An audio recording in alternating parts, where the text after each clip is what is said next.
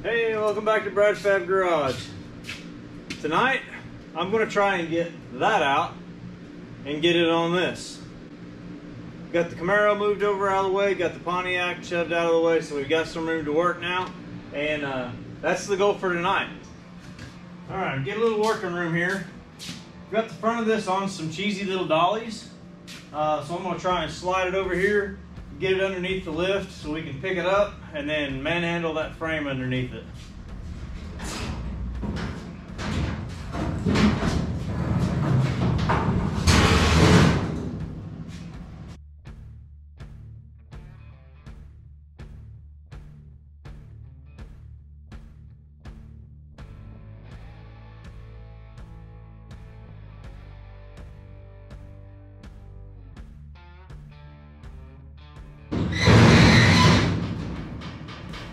Still trying to figure out exactly how I'm gonna pick this up. I've got good supports and all underneath here now. So I can pull the doors open a little bit and uh, run it through there or maybe do a, uh, probably a 2x12 would be the best thing. Just run it through the cab and pick it up with a 2x12. So I think I know right where there's one at. Hey guys, one more quick thing. Uh, if you haven't seen it, I've only posted it in the last video that we did, uh, but we do have merch now. Um, I'll add a link to the uh, Shopify page, but you can go and now online and uh, get one of the first runs of the Brad Fab shirts. Uh, it is up there. Not too bad of a snazzy little logo. Yes, I do have a hoodie on. Uh, I have not ordered any of the hoodies yet. I got some for me and some family members and stuff like that. Um, but we are running just a handful of these shirts uh, just to see how things go. And then uh, as we go, we'll come out with uh, several of the different designs. But this is going to be the the original for right now. So jump in there, uh, get one ordered, and we'll ship it to you. Thanks. Just like that, two by 12.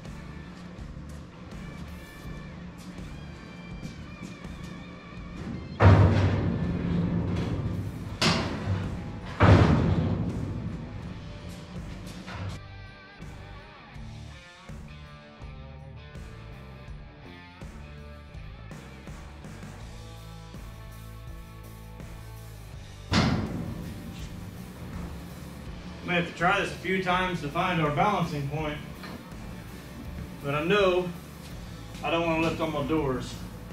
So I'm going to need a 2x4, a couple 2x4s to get under there uh, on the roof supports. All right, let's see if this works.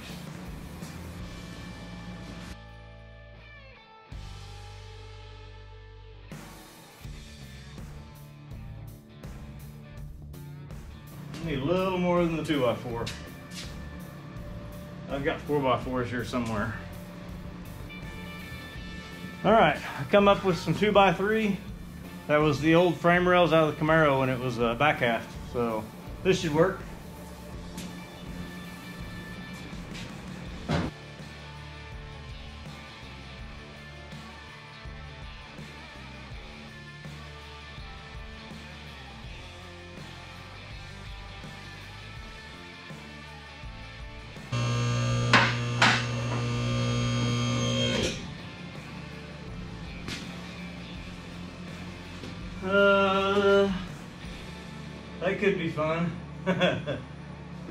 High as it, you know, as it goes. All right, let's see if we can make this happen. I don't know if these dollies will do it or not. I might need to clamp them to the springs just to keep them in there.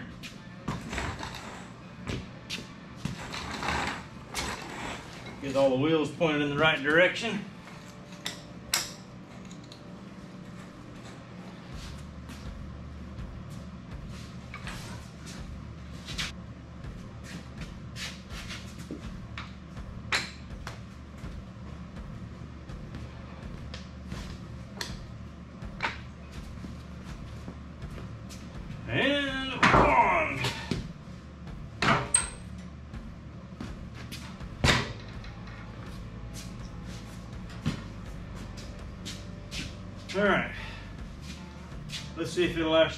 Make its way under.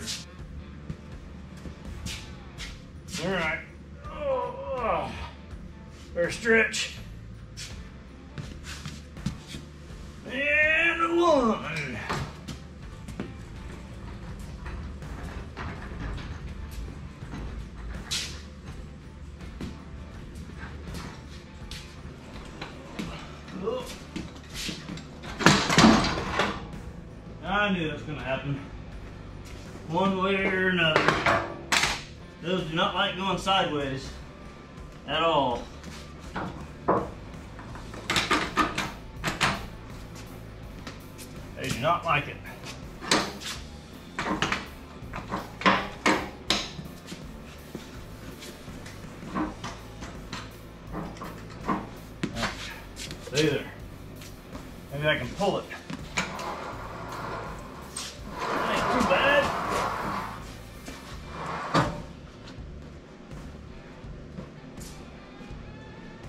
Actually, a little bit too far.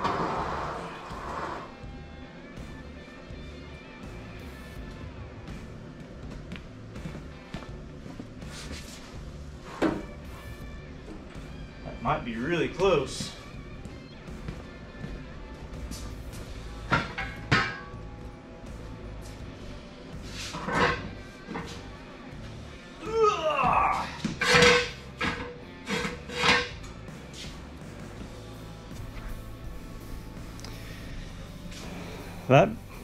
Bad as I thought it was going to be. Guess I glad I ate my Wheaties this morning. Okay, uh, let's try and bring them together.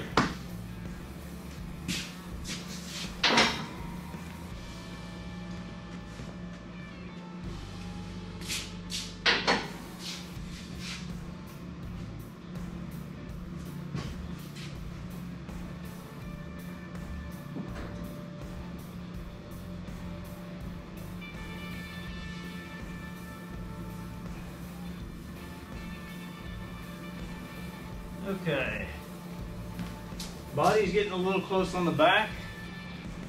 We might have to do a little trimming on the body. Like I said, this is a uh, this is a 41 Chevy chassis, and this is a 34 35 Chevy truck. So they're not going to be perfect, but let's see what we can get done here.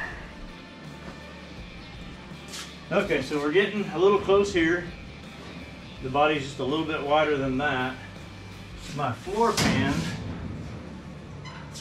is coming in about right here. So I might just trim this up to the floor pan and across and I can get rid of all this rust. And that'll set the floor pan close to the body. Uh, and then we'll see what we get from there. Okay. The new floor structure is right Get my gloves off. Can't do this. My new floor structure is right here. Right about there. And out there. So, let's connect the dots as crooked as this little truck is. See if we can get a straight line right there. And I'm gonna drop down just a hair just so uh, we have some to play with if we need to.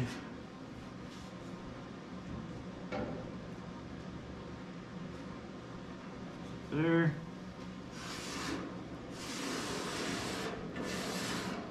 Because we want this thing to sit as low as we can on this chassis. It would be nice to keep the thick chassis, but still get the cab all the way down under it. Get this thing plugged in and make a quick cut across there. See if we can get her low.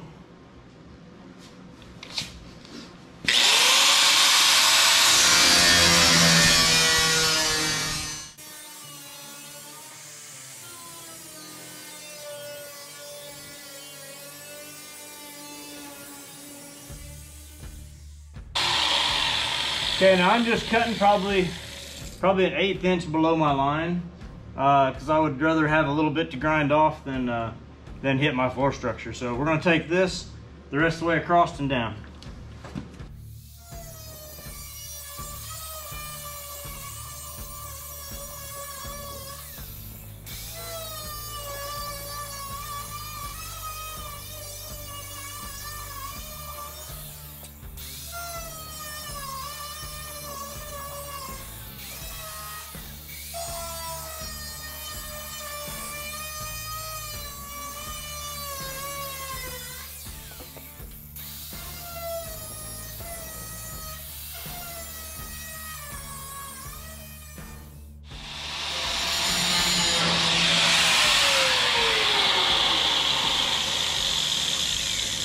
Okay, I got that section cut off.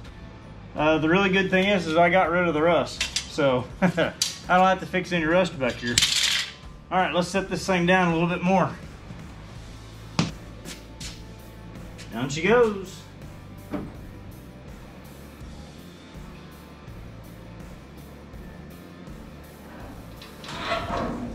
right, now it sounds like the front might be touching. So let's go take a look at that and see. All right, looks like the front of the cab is touching the old body mounts right here. So I'm going to pull the frame forward enough to clear these because we do want to move this thing back far enough that the big block will go in here. So let's pull this thing forward a little bit. I'm gonna go ahead and raise it back up a hair. All right. And let's come on forward.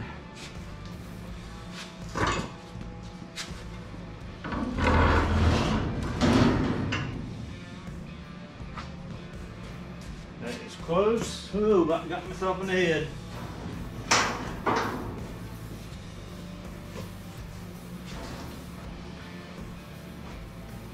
It was really a lot easier to move that frame around than I thought it was going to be. Okay, so that's going to be pretty close too on those corners. Let's go down a little bit.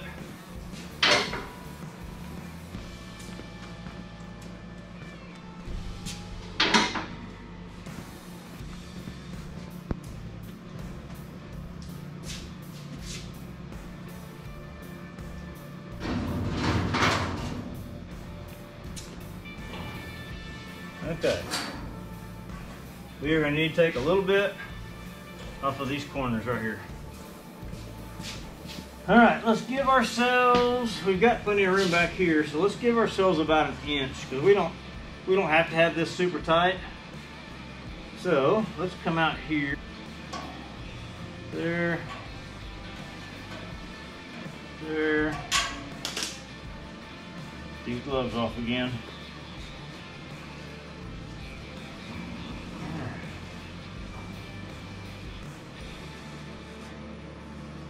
There.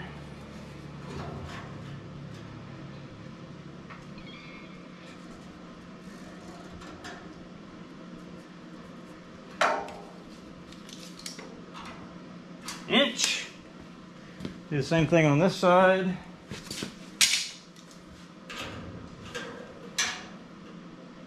An inch. An inch.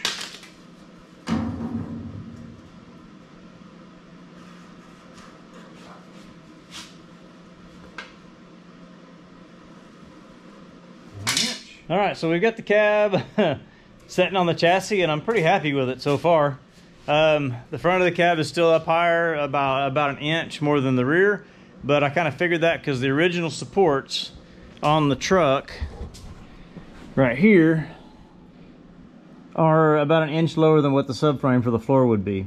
Um, so uh, we'll just go through and we'll put some, you know, when we rubber mount this thing, we'll have bushings in the back and some bushings in the front just to make it ride a little bit better. I mean, it's it is going to be a rat rod, uh, but I want to be able to drive it and I want to be comfortable with it. So um, we will rubber mount everything, um, but man, I'm liking this. I got plenty of room. That's kind of just kind of the guessing spot on where to fit it. It's where the cab fits it the best.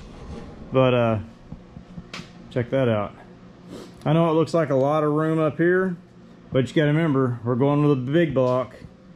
Uh, I've got some options because I've got several motors over there in the floor underneath the uh, the pallet jacks. So, but um, I will be real happy if it sits here just like that. Um, that gives me a lot of room. And the back side of it really, I thought I was gonna have to bob this thing back a little bit, but um, I'm pretty happy with this. This has a spring hangers right at the back of the cab.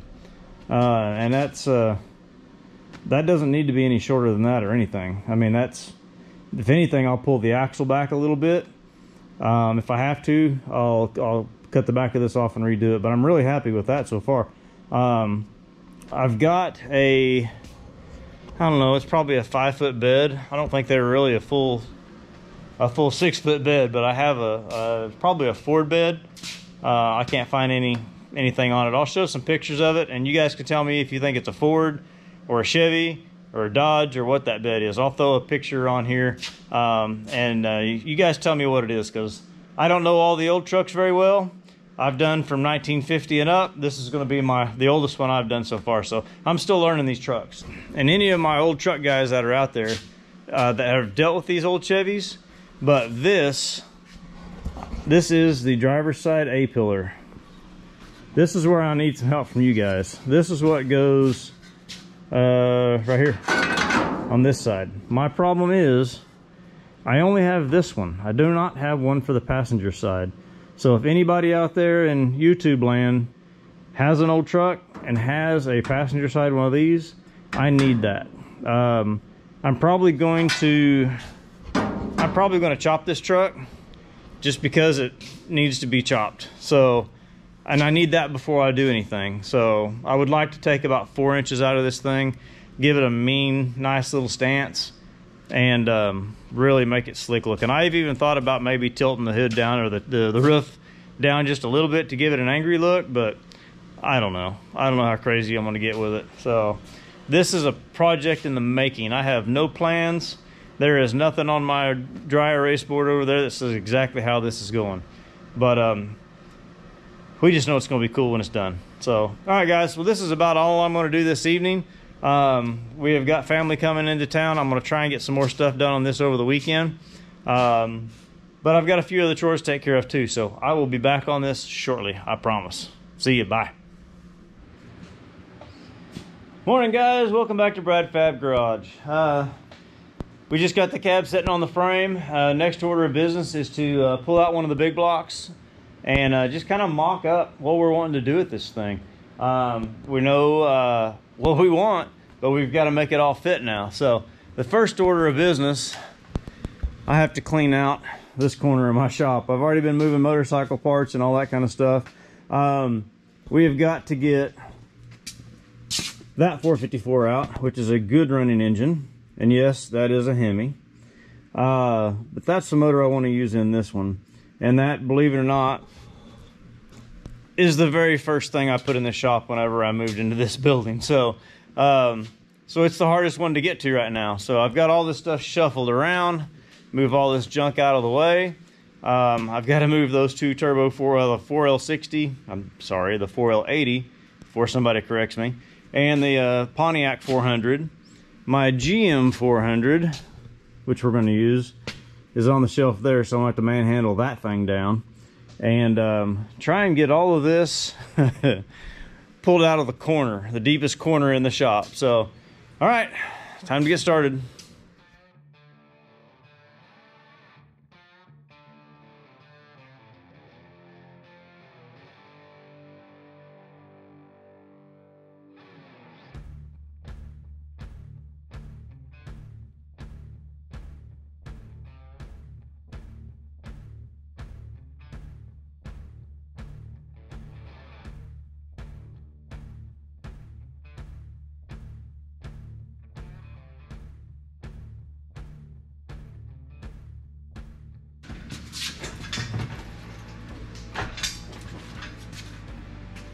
So as far as that's gonna get right now.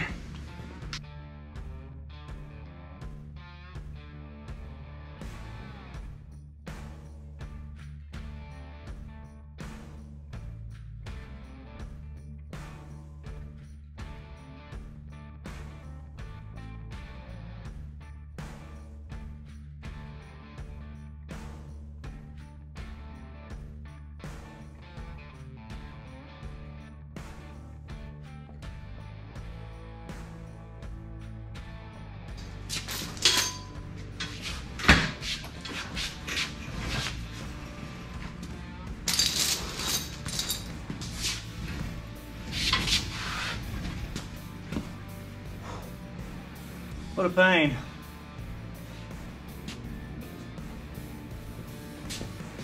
All right, now that I've got it up underneath the rack, uh, which is a chore, let's get this thing strung up straight here so we can uh, work with it a little better. This motor came out of a truck I bought at a uh, state auction. I bought three trucks that were all 454, 81 and older and uh, I bought them all for the big blocks, and uh, one of them had a turbo 400 in it. So I think I paid $700 for all three trucks, and got three running big blocks. This is a propane motor. You can tell it's in its original state.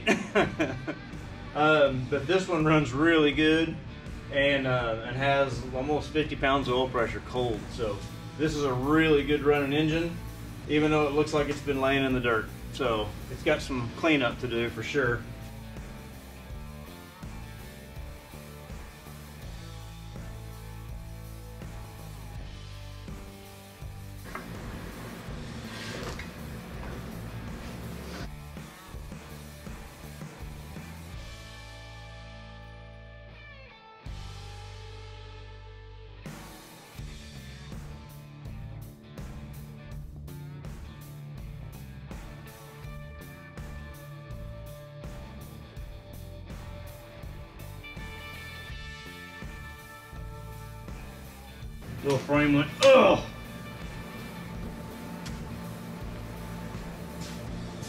Of course, we won't be using the exhaust manifolds. We'll have some lake pipe or something built for it.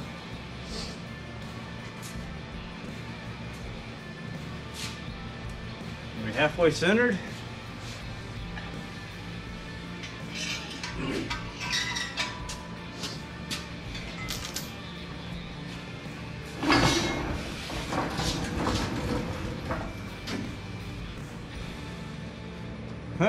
We obviously are not even straight here. This, uh, the old cross member, I guess the, uh, the six cylinder favored this way, so that original cross member down there, which will come out, is just what we're setting on now. Um, and this is just to look at things. I need to set the old core support up in here and check our front to back and make sure we have plenty of room for fans, all that kind of stuff. Because with this big block, we're gonna need a decent radiator. So that's next. It is Christmas weekend, and um, the weather has kind of thrown a, a, monkey wrench in my plans for this Saturday, and that was uh, getting this thing power washed and cleaned, which is asking a lot. It is the end of December, and uh, our weather can go from zero degrees to 70 in about two days. So, but today this is not going to happen. We are going to have to postpone cleaning this motor and the transmission so that we can uh, try and mock everything up and uh, just make things look a little better and see what kind of game plan we're going to have. Uh, but I have a few other problems I want to address too. This cab has a bit of an elevation issue. Um, I did put a, a, uh, substructure into the floor and um, I just don't know if it's going to set low enough for my liking. Um, I would like the cab to set a little bit lower and this chassis being a truck chassis is about six inches thick. Uh, I think the car chassis were only about four inches thick on some of them, so this thing is setting a little bit taller. And I just don't have everything I need yet to see how I'm going to set this thing on the ground. So we've got a lot more parts collecting to do in the meantime. Um, I still need to get a rear end for this thing. I probably will find a uh, just a simple 9 inch um, and throw it in the back of this thing. And probably have to do a 3 link on the rear. The springs that are on it are pretty stiff because they were a truck frame and um, I don't think those are going to work for us. But um, we may have to work on dropping this cab some more. So uh, let's get some uh, some ideas here. Try and get this big boy out of the way.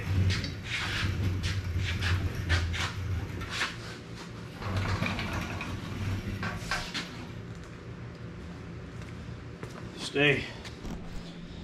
Okay, so altitude issues. This truck doesn't look bad, but I just I just think it needs to go even lower on this chassis than what it is. With this thing sitting halfway level, it doesn't look bad. Um, I do have the running boards for this truck, and I also have front fenders for it. So I'm kind of debating about maybe trying to set the running boards on it and put the fenders on it and see how they match up with this frame. Um, I don't know just like any jigsaw puzzle, you know, all your pieces have got to line up right the first time, or it's going to throw things off a little bit. And uh, none of us like having to recut and re-weld and rebuild everything all over again. Um, you know, and that's the fun thing about rat rod. You change your mind, you change your mind, no big deal. But I kind of like the idea of having the fenders on the front. Has nice big round fenders and uh, it'd be kind of cool. Has some uh, fenders laid out with some zoomies going across them or something like that. We may have to try it and see. Well, I think our next uh, thing in uh, in line that we need to get picked up is we need to find a rear end. I may have to just make a salvage yard run and go get a nine inch out of a truck or something like that. Uh, mainly so that I can uh, get this thing mobile and uh, get it off of my lift because I do have a few other projects that do need to be dealt with also. Um, always projects. There's never just one thing to work on. There's always about eight or ten of them. So, but anyway, remember to go and like and subscribe, and uh, we'll keep this stuff coming a little bit at a time. This was a busy weekend with the holidays and stuff like that, but uh, we're back in gear now. So, but remember to go in, like and subscribe, and we'll keep the things rolling your way. Uh, I do want to say hi to everybody in Australian, uh, Australia, uh, New Zealand, Iceland, and the Netherlands. We're we're uh, were a lot of people watching last weekend on that one. So, but anyway, we'll see you guys next time. We're out. Bye.